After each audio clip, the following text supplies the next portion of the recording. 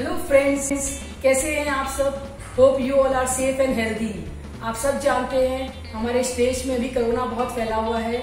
उसी चलते अभी हम लॉकडाउन से गुजर रहे हैं। मैंने इसी लॉकडाउन में मैंगो की बहुत रेसिपीज़ ट्राई की। एंड आई स्वेयर इतनी टेस्टी और इतनी यमी रेसिपी बनी है कि मैं आपको क्या बताऊँ। तो मुझे लगा, क्यों नहीं मैं ये रेसिपी आप सबके साथ शेयर करूँ? और बेस्ट पार्ट है, ये इतनी सिंपल और इजी जो घर पे अवेलेबल है, उस इंग्रेडिएंट से बनी हुई है। तो चलिए, आप मेरे साथ भी इंजॉय कीजिए। Seven days seven recipes stay tune आज की रेसिपी है मैंगो फिरनी तो चलिए, बनाना शुरू करते हैं। मैंगो फिरनी बनाने के लिए मैंने आधा लीटर दूध लिया है। मैंने दो टेबल स्पून बासमती चावल, जिन्हें मैंने अच्छी तरह से धो करके पानी में भिजा के रख दिया है। हमें इसे एक घंटा भिजा के रखना है। मैंने वन फोर्थ कप चीनी ली है। हाफ़ कप मैंने मैंगो का पल्प लिया है। इस पल्प में मैंने चीनी या दूध कुछ भी नहीं मिलाया है। ये प्योर मैंगो का पल्प है। मैंने वन फोर्थ टी स्पून मैंने गुलाब जल लिया है।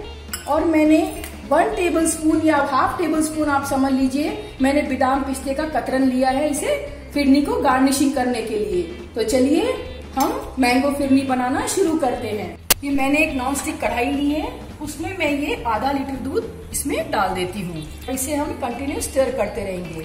जब इस दूध में उबाल आ जाएगा तब मैंने जो ये दो, दो टेबल स्पून जो मैंने चावल भिजा के रखे थे हमें इसे दरदरा मिक्सी में पीस लेना है इस तरह से। ये देखिए इस तरह से मैंने इसे दरदरा मिक्सी में पीस लिया है।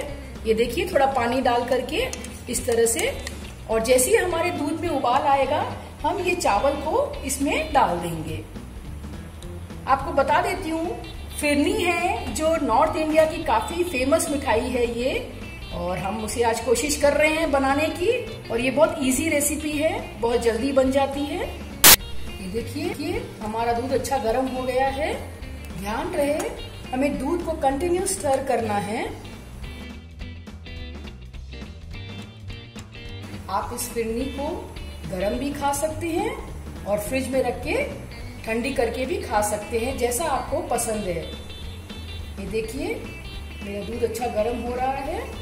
अब हम इस चावल के मिक्सचर को अच्छी तरह से एक बार चम्मच से मिक्स कर लेंगे और अब हम इसे, इस उबलते दूध में इसे हम डाल देते हैं। और हम इसे कंटिन्यू स्टेर करते रहेंगे। ये देखिए चावल जैसे ही हमने डाला है, और आप देखिए ये दूध हमारा गाढ़ा हो रहा है, आप ये चावल देख सकते हैं। आप इस तरह से स्पेटुला में थोड़ा सा ले करके आप खाली प्रेस करके देखिए, हमारे चावल अगर बन गए हैं, बस दो मिनट की और टाइम है। हमारे चावल अगर पक जाते हैं अच्छी तरह से, फिर हम इसमें चीनी डालेंगे। ये देखिए, हमारे चावल अच्छी तरह से पक चुके हैं। अब मैं इसमें ये चीनी डाल देती हूँ, और हम इसे कंटिन्यू स्टर करेंगे दो मिनट के लिए। ध्यान रहे, हम जब भी इसमें मैंगो प्यूरी डालते हैं, हमें गैस बंद करके ही डालना है। ये देखिए, मैंने गैस बंद कर दिया है, और अब हम इसमें ये मैंगो की प्यूरी इसमें हम डाल देंगे। और हम इसे अच्छी तरह से स्टर कर देंगे। ये देखिए, हमारी फिरनी बन के तैयार हो गई है। देखिए कितना सुंदर कलर आया है हमारी फिरनी का। अब हम इसमें थोड़ा सा गुलाब जल डाल देंगे। हमें अब गैस को नहीं चालू करना है। ये मैं इसमें थोड़ा सा गुलाब जल डाल देती हूँ, जिससे अच्छे फ्लेवर आ जाता है इसमें। चलिए, अब हम इसे सर्व करते हैं। तो फिरनी को अगर आप इस तरह से जो मट्टी के सकोरे आते हैं, इसमें सर्व करें तो ये बहुत ही अच्छा लगता है।